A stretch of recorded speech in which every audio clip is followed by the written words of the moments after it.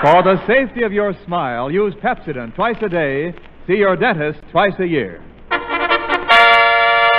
Again this week, the Pepsodent Company presents another in its series of broadcasts to our men in the armed forces throughout the United States. Tonight, for the women of the Navy, the waves, and the nurses at San Diego, California, the Pepsodent Show, starring Bob Hope and our special guest, Cary Grant.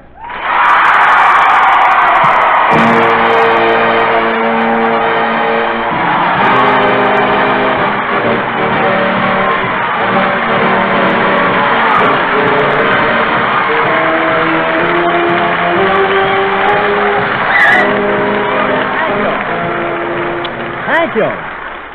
Thank you. How do you do, ladies and gentlemen? This is Bob San Diego Naval Base Hospital Hope. Telling you waves and nurses that as you go about your official duties, to use Pepsodent, you'll never have artificial tooties.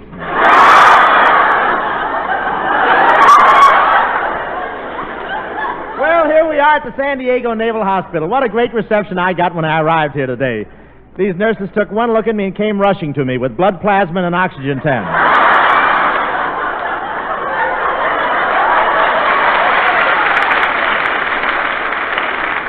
And I don't know whether these girls all got a chance to have dates over Christmas or not, but when I arrived, one of them said, Look what's coming through the gate. Too little, too late.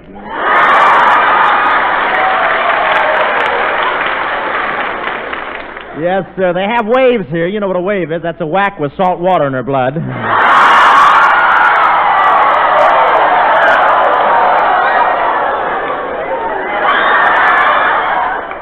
and it's very hard to choose between the wax and the waves, but the waves are very pretty. They must be. Anyway, it's the first time my drool ever had white caps.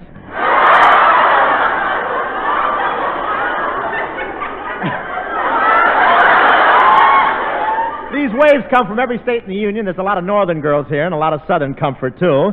But, but these waves can't forget their girls. I saw one wave who had such long fingernails, every time she saluted an officer, she cut the medals off his chest.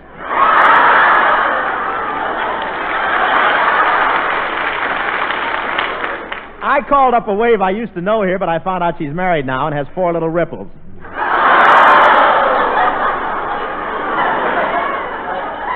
That's not so funny, but it's cute, is it? and the girls here live in permanent dormitories and sleep in bunks. You know what a bunk is? That's a bookshelf with a mattress.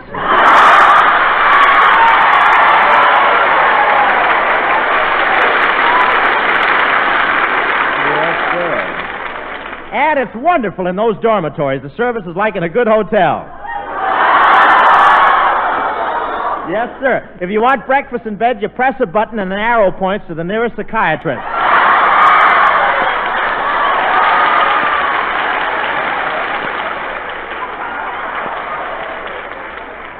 Of course, the waves and nurses don't wear powder and lipstick when they're working. They're the only branch of the service that go unarmed when they're on duty and keep their heavy artillery for shore leave.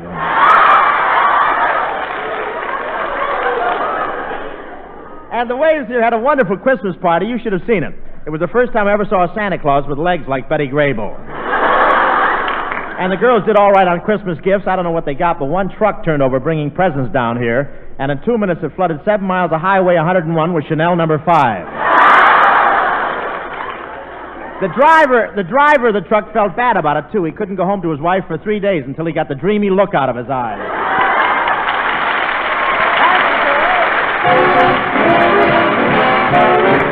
Poor Miriam, poor Miriam, neglected using Irium.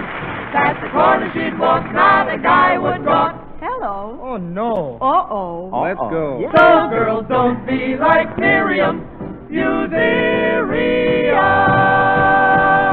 It's the film you feel on your teeth that makes your teeth look dull.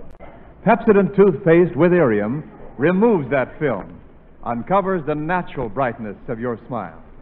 You see, Pepsodent, and only Pepsodent, contains Irium. It loosens film and floats it away quickly, easily, safely. And when film is gone, Pepsodent toothpaste brings new brightness to your teeth. No wonder more people than ever before use Pepsodent toothpaste today. No wonder it's number one with the men in the service. Try Pepsodent toothpaste for just one week. See if your teeth don't feel cleaner, Telephone. look brighter. See if it doesn't uncover that natural brilliance of your smile. Get a tube of Pepsodent toothpaste. And remember, Pepsodent and only Pepsodent contains Irium. Dear Miriam, sweet Miriam, now she's using Irium. Up and down the street, all the boys repeat. Some smile. Well, naturally. Well, of Some course. smile. Thank you. When Wendell now said Pepsodent, that's what he meant.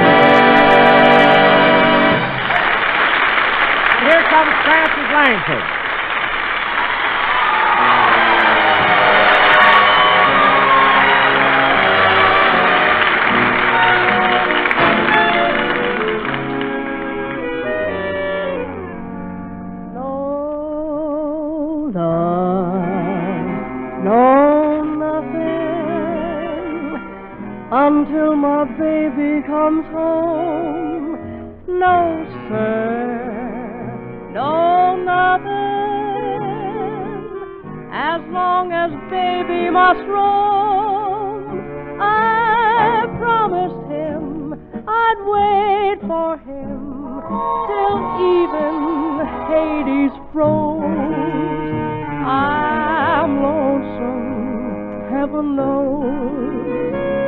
But what I said still goes. No love, no nothing. And that's a promise I'll keep. No fun with no one. I'm getting plenty of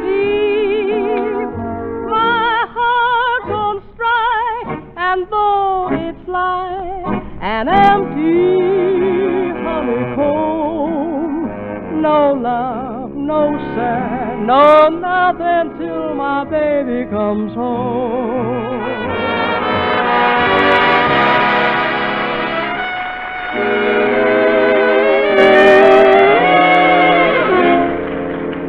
No love, no nothing,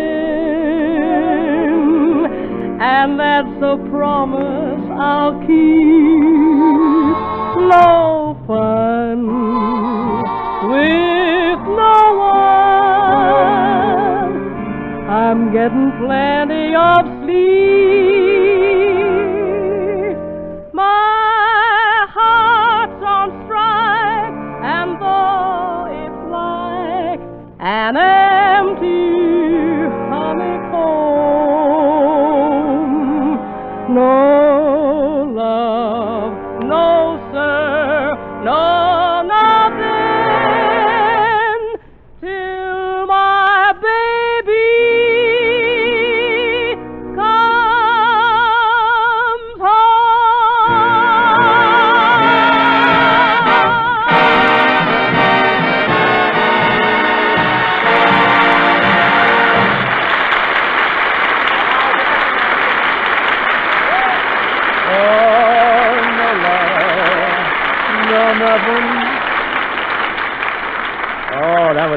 pretty, singing No Love, No Nothing. That was Frances. Well, Frances, you have a nice Christmas? Oh, just wonderful, Bob. And I can't thank you enough for your lovely present. It's worth more than $5,000 to me, and I'll treasure it forever. Oh, it's a nice present, all right. I guess that shows you what kind of guy I am, Frances. It really does, Bob. Gee, not many fellows would walk up to Frank Sinatra and pull his bow tie right off his neck.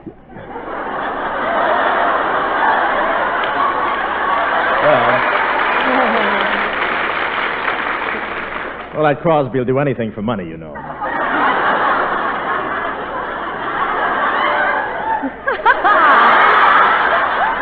Oh, I meant to ask you, Bob. What's that tiny box you sent me that has stamped on it, keep in a warm place for 60 days? Well, I just couldn't get you a pair of nylons, and the clerk said silk stockings were the next best thing. Bob, you don't mean. Yes, if those two silkworms know what they're doing.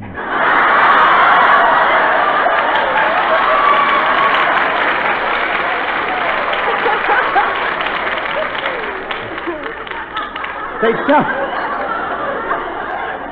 I haven't heard from their agent lately, but I imagine. Tell me, Frances, did you like that party at my house Christmas afternoon? Oh, it was wonderful, Bob. But there's a point of etiquette I want to make.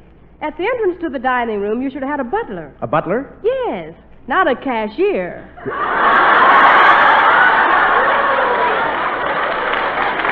Well, well, I don't charge my friends if they hold membership cards.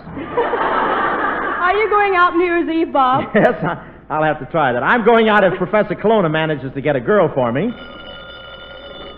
Hello? Same to you. who, who is this? This is Hope Colonna. Who? Hope Colonna. Hope Colonna. Hmm. Didn't know I had a sister.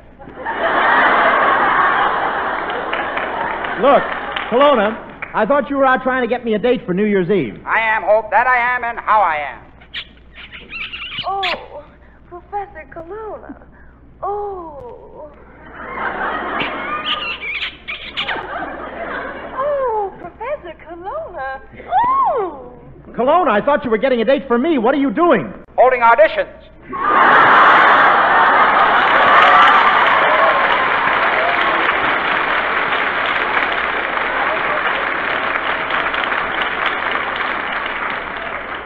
You get pretty good parts, don't you, huh? Colonna, what's the matter with you anyway? Well, Hope, I never told anybody this, but the day I was born, I was dropped down 29 chimneys. When you were born? when you were born, you were dropped down 29 chimneys? How come? Stark had hiccups. Well, look. Professor, get busy. You're supposed to be getting me a date for New Year's Eve. Yes, Hope, and I've got one for you. She's beautiful, got big blue eyes and soft brown hair, and you won't have to spend much money on her. You think she'll be a good date for New Year's Eve? Certainly. Moo. You see? She'll even bring her own drinks. Hmm.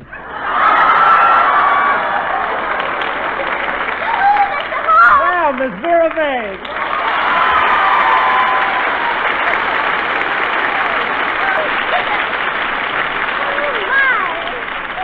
Here we are, Mr. Hope, and I'm so glad to be here.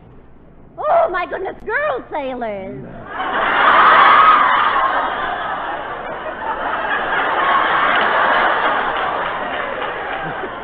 Yes, what about it? Double crossed me, didn't you? no, really, really, I'm very interested in these wonderful young waves and nurses, Mr. Hope. You know, I was once a nurse myself. I was. And Robert Taylor was my patient. Really? Did you recover? Say, with uh, with all these waves and nurses in San Diego, Miss Vague, it looks like you'll have to take a back seat while you're here. Oh, I don't mind. You don't? Well, that's the first time I ever saw you willing to take a back seat. Well, why shouldn't I? There's not a back seat in town that hasn't got a sailor in it.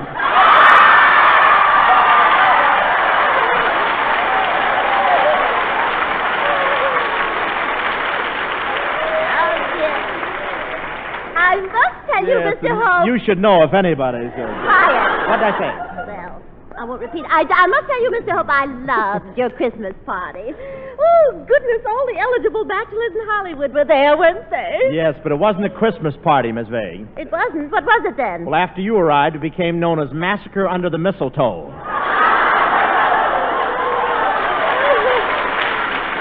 Oh, my, bless your heart, Mr. Hope. I wish Santa Claus had left you in my stocking. It could use a new heel.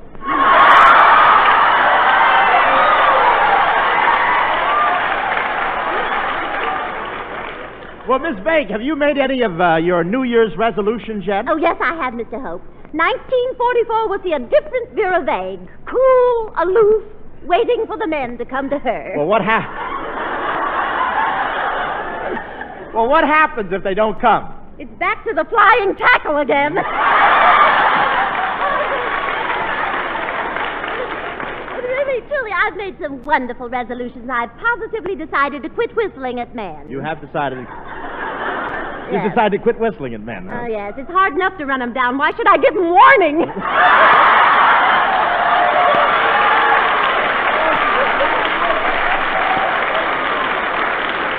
Uh, Seriously, Mr. Hope, I've resolved to quit thinking about men so much. What's that? There goes my other ear. Did this fall out of your nose? I'll give you that.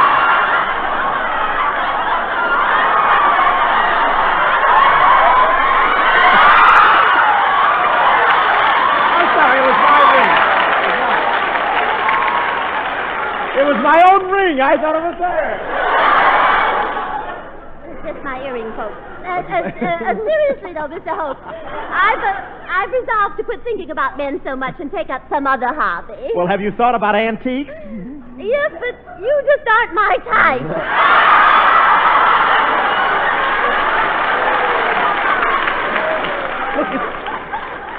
Oh, but I don't care. I'll still take my boyfriend Waldo. Oh, Waldo, tell me, Miss Vague, how is that little drink blotter, huh? Is Waldo going to turn over a new leaf this year? Uh, no, not exactly. He's going to turn over a new label. he wants to see what's on the back of old Granddad's picture. It'll probably be him, Miss Vague. I'm afraid Waldo is getting in a rut. Oh, Mr. Hope, Waldo never gets in a rut. Waldo never gets in a rut. Of course not. If he can't find a gutter, he just stays up all night. Say, he had a wonderful Christmas Eve, though. I sat up with Waldo and we played gin rummy. I just died laughing. I guess Waldo isn't very good at gin rummy. That's why you were laughing, huh? Yes, you know, I told him he was a pigeon. You know what he did? He flapped his arms and flew out the window. Mm. of course, at that time, he was more Jimmy than Rummy.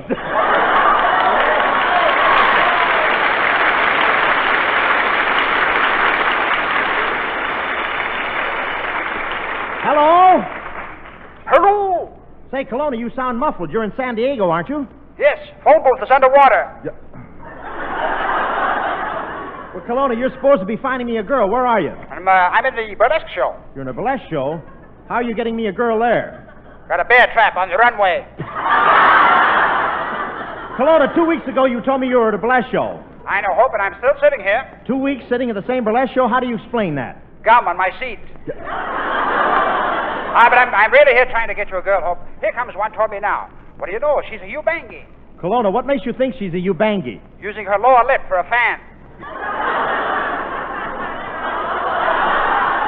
Stop fooling, Colonna. Get me a girl for New Year's Eve. Just find her and bring her to me. She must be beautiful, blonde, about five foot two, and very, very affectionate. Beautiful, blonde, five foot two, very, very affectionate.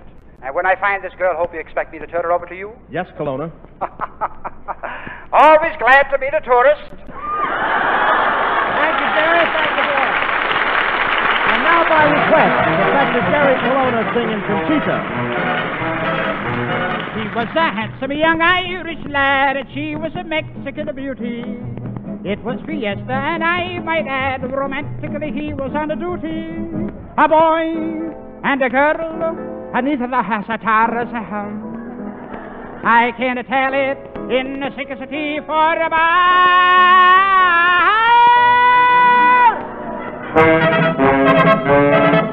His Irish heart went bingo when he saw the Rose of Juarez. Oh! Conchita, Marquita, Lalita, Pepita, Rosita, Juanita Lopez. Oh, you're a lovely thing, oh. For me, there's but one girl, he says. Oh! Conchita, Marquita, Lalita, Pepita, Rosita, Juanita Lopez. Yes, she won her heart one night with a serenade beneath the moonlight. Cool, tic tac, super, like my foot, the quarter of the five. My senorita, will you marry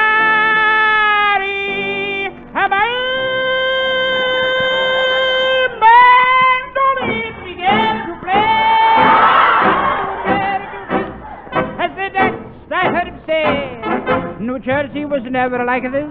The bells began to ring, oh, and they rode away on a mule. To prove I'm not joking, if you're in Hoboken, drop in for a minute and you'll meet Conchita, Marquita, Dalita, hip hip be Rita, Juanita,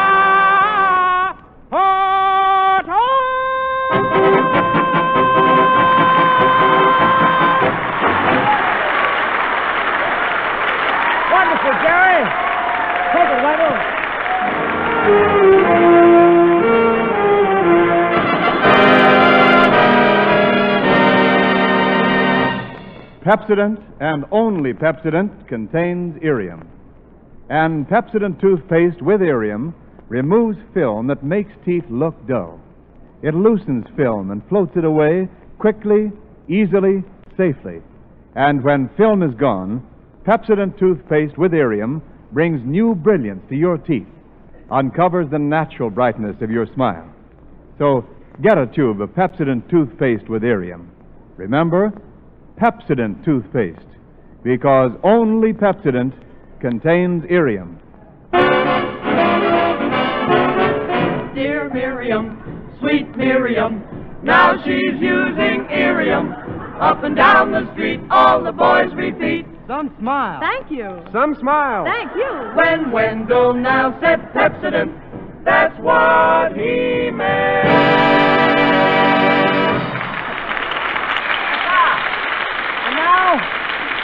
Tonight, ladies and gentlemen, I have a special surprise for you. One of Hollywood's most charming and talented actors, recently seen in RKO's Mr. Lucky and soon to be seen in Destination Tokyo, and once upon a time, Mr. Cary Grant.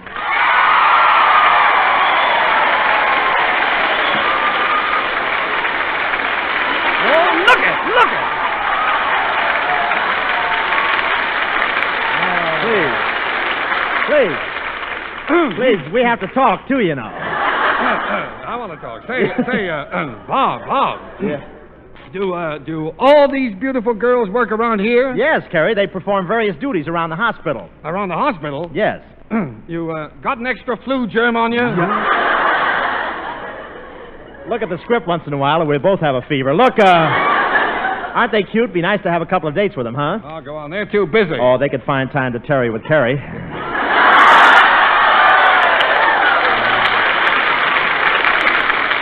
Yeah, but they'd be wasting their time to mope with hope. Yeah.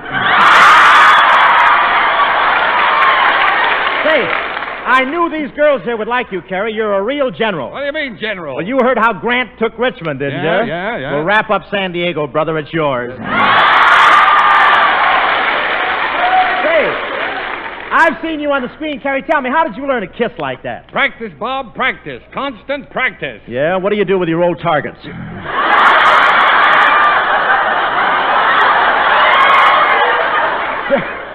Seriously, though, Cary, I've always had a lot of admiration for your technique in making love. Well, it's nice of you to say that, old man. uh, come to think of it, come to think of it, your lovemaking technique has always fascinated me. It's provoked my curiosity. My lovemaking has provoked your curiosity. Yes, yes. Where did you pick up such an unusual style of combat training?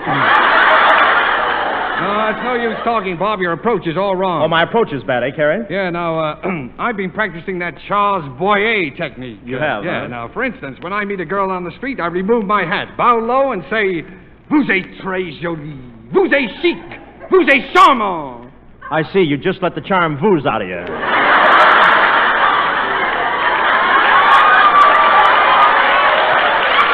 Great. So that's that's the way you go about it, huh? Nice and slow. Sure, sure. You work too fast, Bob. Girls don't know what you mean when you run up, grab 'em by the hair, and yell, Boy, what a hunk of cheesecake!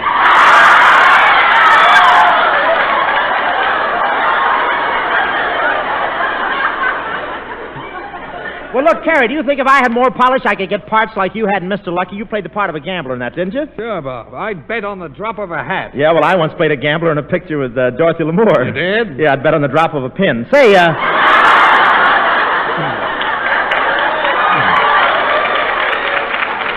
did, uh. Did you enjoy playing the part of the gambler? Bob, gambling doesn't pay. Let's just show the girls what happens when two country boys come to town. Oh, that's a swell idea. Wendell Niles will play the part of the gambler, and you and I'll play the part of the two Hicks. Okay, Bob, but don't bother changing your clothes. No. Stan, play a little gambling music. You know, something like all or nothing at all. Anything.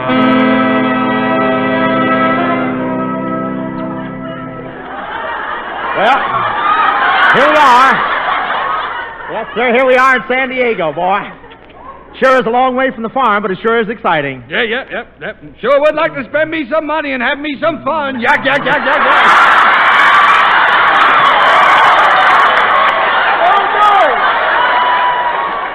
He does it better than me. Say, you know, you know, Lem, Yep, yep, yep. You know, Lem, I don't care for these here city girls. Why, what's wrong? Don't you like their looks? Not the ones that give me. You're not doing so good yourself, Lem. You need a shave. I know. I didn't have a chance this morning. Ma was using the bread knife. You shave with a bread knife? Yeah, yeah. I'm kind of ashamed. We ain't got no good silverware. Yeah. You look bad tonight, Elmer. You're so pale. How come you're so pale?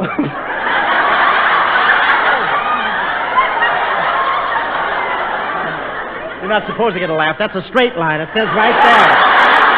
well, how come you're so pale? Yeah. I'm so pale, I just finished milking and I ain't wiped it off yet.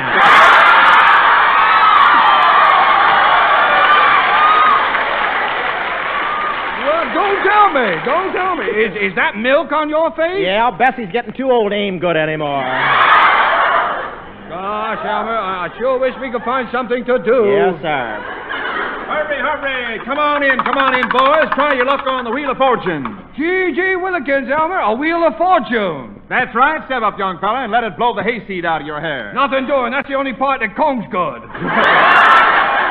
Say, fella, where are the waves around here? Where are the waves? Don't worry about women. Hey, you're a couple of smart-looking boys. I'm smart. I'm looking.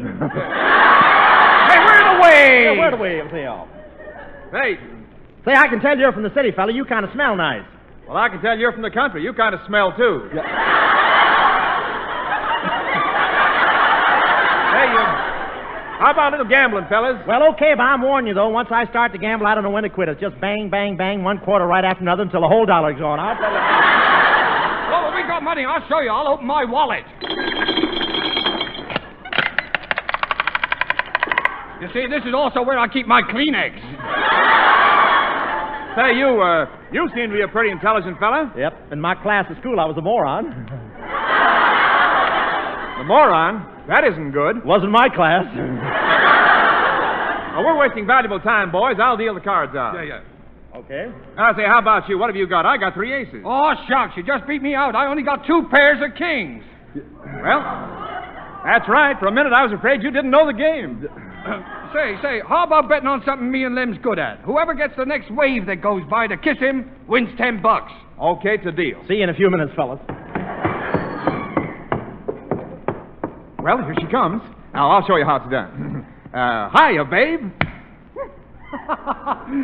Oh, you didn't do so good. Well, I'll try my luck. Hiya, babe. Okay, Lem, now you dress up like a wave and let me win ten bucks.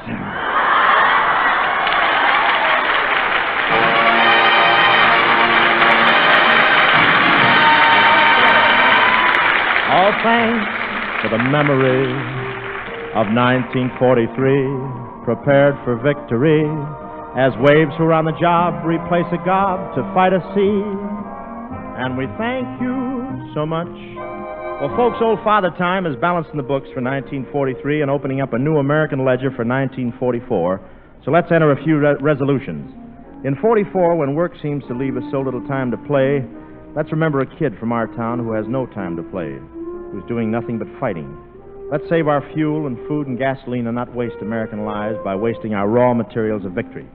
Let's avoid inflation with more war bonds and bigger savings accounts.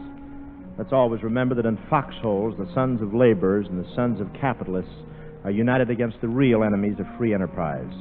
So let their fathers swear to do as well here at home.